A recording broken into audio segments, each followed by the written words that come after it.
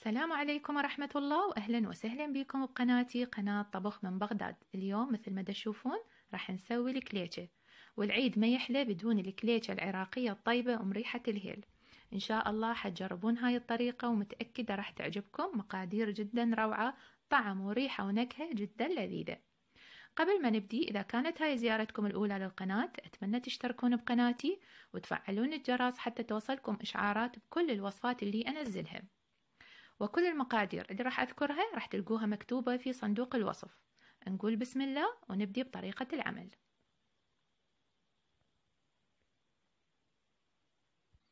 أول خطوة نسويها نبدي بتحضير العجينة. عندي هنا كيلو من الطحين الأبيض. الكيلو يعادل ست أكواب من الطحين.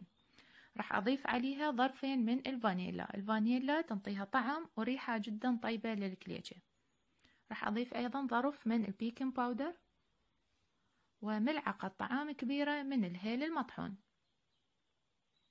راح أخلط المكونات مع بعضها بصورة جيدة ثم نعمل حفرة بالوسط.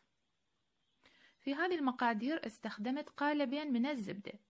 تقدرون تستخدمون قالب زبدة واحد مع كوب من السمن أو الدهن. وأطيب سمن أو دهن هو جنة يكون بنكهة الزبدة. جدا طيب لكن هنا ما متوفر فاستخدمت قالبين من الزبدة وأيضا تطلع جدا طيبة. ذوبت قالبا من الزبدة وضفتها فوق الطحين. راح نبدي هسه نفرك الزبد ويا الطحين بهالشكل هذا اللي تشوفوه إلى أن تتفتت عندي كل الحبيبات بحيث يصير عندكم مثل الرمل.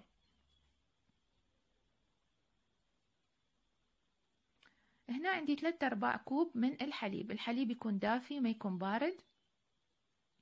راح أضيف عليه ملعقتين طعام من السكر. وملعقة شاي من الملح. وملعقة شاي من الخميرة الفورية. لا تضيفون خمرة هواية حتى من تشووها ما تروح النقشة. من تسووها يعني بيها نقشة بالقوالب ما تروح من عندكم. وهي بالتالي مو معجنات يعني ما نضيف لها خمرة هواية. راح أضيف هذا المزيج فوق الطحين وراح أخلي يمي كوب من الماء الدافئ. طبعا هذا احتمال مو كله نستخدمه يعتمد على نوعية الطحين اللي دا تستخدموها. راح نبدي هسه نعجن ونضيف المي تدريجيا إلى أن نحصل على عجينة متماسكة. أنا تقريبا استخدمت يعني ثلاثة أرباع الكوب من المي والمي يكون دافي. استمريت تقريبا عشر دقايق أعجن العجينة لأن عجينة الكليتشة تحب أنه تنعجن هواية إلى أن تحمى. هسه لاحظوا شلون صارت؟ بعد أن تتماسك وتنعجن بصورة جيدة نغطيها وندفيها ونتركها ترتاح لمدة نصف ساعة. وبهالشكل تكون جاهزة. ننتقل للخطوة الثانية اللي هي تحضير الحشوات. راح أستخدم أني حشوة التمر. عندي هنا عجينة التمر هذه موجودة بالأسواق وتكون منزوعة النواة جدا سهلة بالشغل. راح أخلي وياها السمسم ولب جوز أو عين الجمل كسرته بهالشكل هذا وعجنته ويا التمر. بعدين راح نسوي العجينة هذه بشكل كرات صغيرة حتى تسهل علينا آه، الشغل أثناء تشكيل الكليتشة. الحشوة الثانية اللي حستخدمها هي حشوة الجوز أو عين الجمل. راح أكسر الجوز بهالشكل اللي تشوفوه وأخلط وياه شوية من السكر. وبهالشكل تكون الحشوة جاهزة. أكو يخلون دارسين شوية دارسين ويا هاي الحشوة لكن أنا ما أخليه فقط الجوز والشكر. تقدرون أيضا تستخدمون الحشوات الأخرى مثل الحلقوم الوردي أو السمسم وتخلطون وياه سكر. أو مثلا برج جوز الهند وتخلون وياه فستق حلبي أو الفستق الأخضر تطلع الحشوة هاي جدا طيبة. راح نبدي هسه نشكل الكليتشة أما شكلوها باستخدام القوالب طبعا هذا القالب مو مال الكليتشة بصراحة هذا مال معمول لكن أنا يعني استخدمته للتوضيح لأن هنا ماكو قوالب مال الكليتشة فبهالشكل هذا اللي شفتوه تفتحون العجينة وتحشوها وتخلوها بالقالب. أو تقدرون تستخدمون الطريقة الثانية اللي هي بدون قوالب. إنه تفتحون العجينة بهالشكل هذا باستخدام الشيبك وتاخذون عجينة التمر وتحاولون ترققوها بإيدكم بهالشكل هذا وتفرشوها على كل العجينة. طبعا هذه طريقة التشكيل حسب رغبتكم بس أنا شوفتكم يعني آه، كذا يعني شكل وكذا موديل.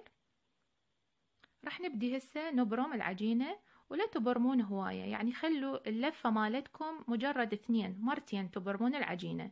حتى من تقطعون الكليشة الشكل عندكم يصير حلو. إن شاء الله تكون طريقة العمل واضحة أمامكم. أكثر سؤال يجيني على القناة هو إنه شلون عجينة الكليشة تبقى بيضة؟ لازم ما تخلون الدهن حار. يعني من تجون تذوبون الزبدة أو تذوبون السمن تخلوه شوية يدفى يلا تضيفوه فوق العجينة. حتى العجينة عندكم ما تصير سمرة. والسؤال الثاني اللي ينطرح أيضا إنه ليش من نسوي كليشة؟ النقشة تروح. النقشة تروح من تخلون خمرة هواية. الخمرة ما تخلون هواية بال بالكليشة. لأن يعني هي مو معجنات. هي نوع من أنواع المخبوزات. فما تخلون بيها هواية خمرة. حتى النقشة عندكم ما تروح.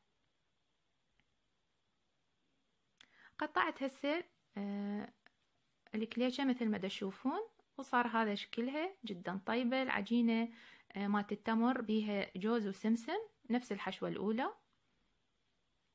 هسه راح نشكل آه كليشة الجوز. بهالشكل هذا أيضا بدون استخدام قالب أو إذا عندكم قوالب مال كليشة تقدرون تستخدموها بسهولة. وإن شاء الله تكون طريقة العمل واضحة أمامكم.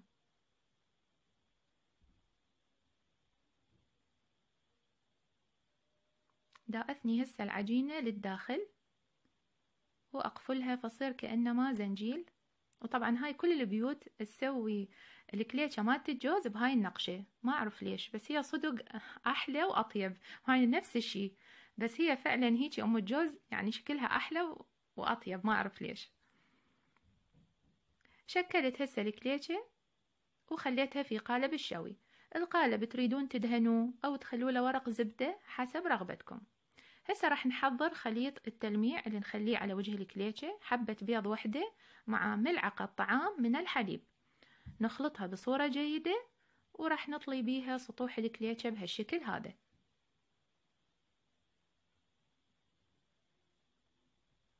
أكو يخلون شوية من ذرات القهوة ويا خليط التلميع حتى تطلع حمرة بس أني ما أحب هاي الفقرة لأن يبين طعم القهوة بيها.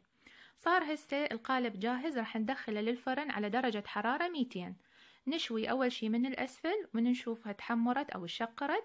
نطفي الشواية السفلية ونفتح الشواية العلوية إلى أن يصير لونها ذهبي بهالشكل هذا اللي تشوفوه وهذا شكلها في صحن التقديم. طبعا جدا طيبة تلوق لحلقكم. والله ريحتها يعني انتشرت في المكان وجدا طيبة وعجينتها جدا هشة. إن شاء الله تجربون هاي الطريقة وتعجبكم. هذه كانت وصفتنا لليوم. إن شاء الله تكون عجبتكم وحبيتوها. إذا حبيتوا الفيديو أتمنى تخلوا لي لايك وتشاركوا بين الأصدقاء. عيدكم مبارك وكل عام وأنتم بألف ألف خير. شكرا للمتابعة وإلى اللقاء بوصفات أخرى مع السلامة.